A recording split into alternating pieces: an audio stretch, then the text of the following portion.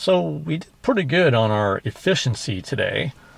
We did uh, 12.1 miles um, with 2.2 kilowatt hours used, which translates out to 18.1 kilowatt hours per 100 miles.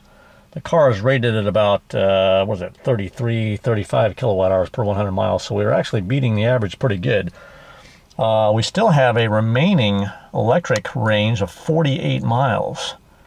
Uh, so that was about a 60 mile range, uh, running at about um, 18 kilowatt hours per 100 miles. So if, if you can drive efficiently, uh, you can really start getting your range up.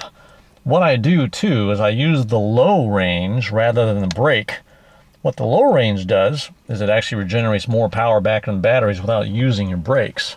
Um, the only drawback to that is you want to watch your rearview mirror because unlike the Tesla, the Volt does not put the brake lights on when the gas pedal is released.